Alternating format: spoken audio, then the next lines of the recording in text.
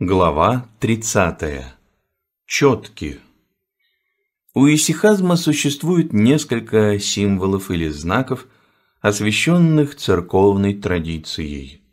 Прежде всего, это сама молитва Иисусова. Затем многообразная иконописная и гимнографическая символика, связанная с видимой благодатью Божией, нетварным светом, которые сподобляются созерцать некоторые исихасты. Древние афонские свитки донесли до нас изображение звезды исихазма, символика которой основана на текстах священного писания.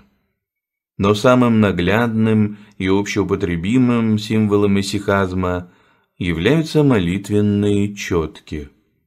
Многие века – четкие используются для занятия молитвой Иисусовой.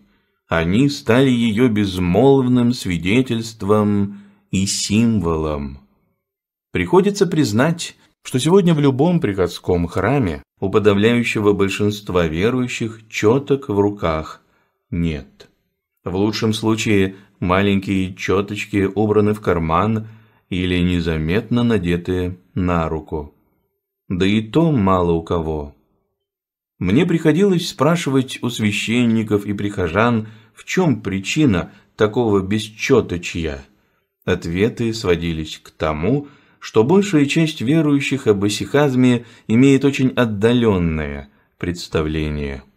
Но и те, кто пытается заниматься Иисусовой молитвой, стесняются среди людей открыто молиться по четкам. Может быть, нужно стесняться и крест нательный носить на шее в летнее время, когда он виден другим, или когда, например, идешь к врачу. И в отношении креста, и в отношении четок такое наше стеснение в лучшем случае есть грех ложного стыда, а в худшем – отречение. Спаси нас, Господи! Но если мы не расстаемся с нательным крестиком, то не будем расставаться и с четками, ибо они для нас не только символ, но и средство непрестанной молитвы к Богу.